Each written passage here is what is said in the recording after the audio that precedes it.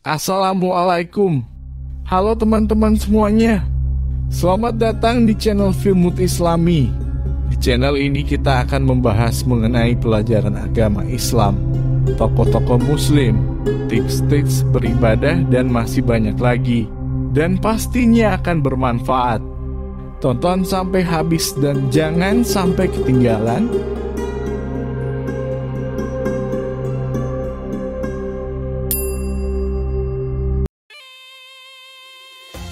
Bersedekah merupakan salah satu perbuatan terpuji yang sangat dianjurkan dalam Islam. Selain mendapatkan pahala yang besar, orang yang bersedekah juga akan memperoleh kebajikan serta bisa menolong orang lain yang sedang membutuhkan bantuan. Hal ini sebagaimana ditegaskan dalam Al-Quran Surat Ali Imran, Allah berfirman, Kamu tidak akan memperoleh kebajikan sebelum kamu menginfakkan sebagian harta yang kamu cintai. Dan apa pun yang kamu infakkan tentang hal itu, sungguh Allah maha mengetahui. Dalam ayat yang lain, Allah bahkan menjanjikan pahala yang sangat besar bagi orang-orang yang bersedekah. Sesungguhnya orang-orang yang bersedekah baik laki-laki maupun perempuan dan meminjamkan kepada Allah dengan pinjaman yang baik akan dilipat gandakan balasannya bagi mereka dan mereka akan mendapatkan pahala yang mulia. Itulah beberapa ayat Al-Quran yang menjelaskan tentang kemuliaan bersedekah. Orang-orang yang bersedekah akan mendapatkan pahala dan kebajikan yang banyak dari Allah serta akan mendapatkan balasan yang berlipat ganda darinya. Kendati demikian, hukum bersedekah tidak selamanya dianjurkan sebagaimana penjelasan di atas justru ada beberapa hukum bersedekah yang makruh dan tidak bernilai pahala apa-apa, bahkan berhukum haram dan berdosa. Semua ini tergantung situasi dan kondisi yang hendak bersedekah. Lantas, bagaimana hukum bersedekah bagi yang sedang punya utang? Berkaitan dengan hal ini, para ulama ahli fikih memiliki pandangan yang berbeda-beda perihal hukum bersedekah bagi orang yang memiliki utang. Semua itu tergantung pada situasi dan kondisi orang yang hendak bersedekah. Imam Abu Zakaria Muhyiddin An-Nawawi dalam kitabnya menjelaskan bahwa bersedekah bagi orang yang punya utang bukanlah perbuatan yang dianjurkan dan termasuk menyalahi sunnah. Bahkan jika dengan bersedekah tidak mampu melunasi hutangnya, maka hukumnya haram. Barang siapa yang memiliki utang atau tidak memiliki utang namun berkewajiban menafkahi orang lain, maka disunahkan baginya untuk tidak bersedekah sampai ia melunasi tanggungan yang wajib baginya. Menurut pendapat yang lebih sahih, haram hukumnya menyedekahkan harta yang ia butuhkan untuk menafkahi orang yang wajib ia nafkahi, atau harta tersebut ia butuhkan untuk membayar utang yang tidak dapat dilunasi seandainya ia bersedekah. Pendapat yang sama juga disampaikan oleh Imam Ar-Ramli dalam kitab Nihayatul Muhtaj ila Syarhil Minhaj. Juz 6, halaman 174. Imam Al-Qulyubi dalam kitab Hasyiah Al-Qulyubi Imam Ibnu Hajar Al-Haytami dalam kitab Tufatul Muhtaj fi Syarhil Minhaj. Syekh Muhammad Az-Zuhri Al-Gumari dalam kitab As-Sirajul Wahaj Alamat Nil Minhaj.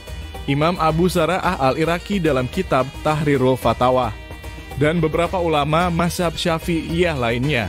Dari beberapa pendapat di atas dapat disimpulkan bahwa orang yang memiliki utang dan tidak bisa melunasinya kecuali dengan uang yang sedang ia miliki, maka tidak boleh baginya untuk bersedekah termasuk juga jika ia sedang membutuhkan uang tersebut, baik untuk dirinya sendiri ataupun orang nol orang yang menjadi tanggung jawabnya. Berbeda dengan orang yang masih memiliki harapan bisa membayar utang melalui jalur yang lain. Contoh, ada orang yang punya utang 100 ribu, dan ia memang hanya memiliki uang 100 ribu. Hanya saja ia memiliki penghasilan di luar yang hasilnya bisa digunakan untuk melunasi utangnya. Maka hukum bersedekah bagi orang seperti contoh ini diperbolehkan, Hal ini dengan catatan sepanjang tidak sampai mengakhirkan pembayaran utang dari tempo yang telah ditentukan dan tidak ada tagihan dari orang yang memberi utang. Jika berakibat mengakhirkan pembayaran atau ada tagihan dari pemberi utang, maka dalam hal ini wajib untuk menyegerakan pelunasan utangnya. Adapun kewajiban mendahulukan membayar utang adalah karena merupakan tanggungan wajib, maka harus didahulukan dari yang sunnah. Sedangkan jika utangnya bisa lunas melalui harta yang lain, maka tidak masalah bersedekah dengan harta tersebut kecuali jika berakibat pada diakhirkannya pembayaran. Sedangkan ia wajib untuk segera melunasi utang tersebut karena adanya tagihan atau hal lainnya.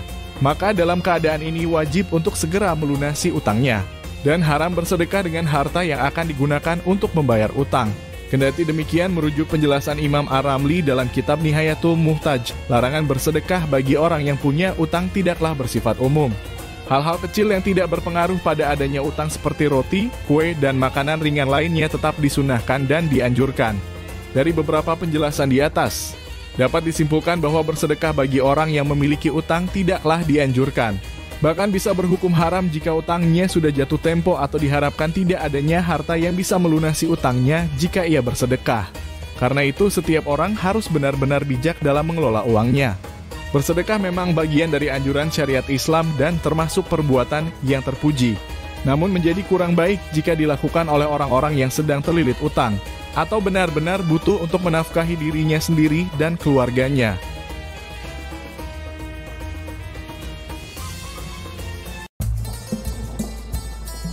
Baik teman-teman semuanya, demikianlah informasi mengenai hukum bersedekah bagi orang yang punya utang. Semoga bisa menambah pengetahuan dan bermanfaat bagi teman-teman semuanya. Terima kasih sudah menyaksikan Filmut Islami Channel. Jangan lupa saksikan video-video kami selanjutnya dengan materi yang lainnya. Sampai jumpa kembali. Wassalamualaikum warahmatullahi wabarakatuh.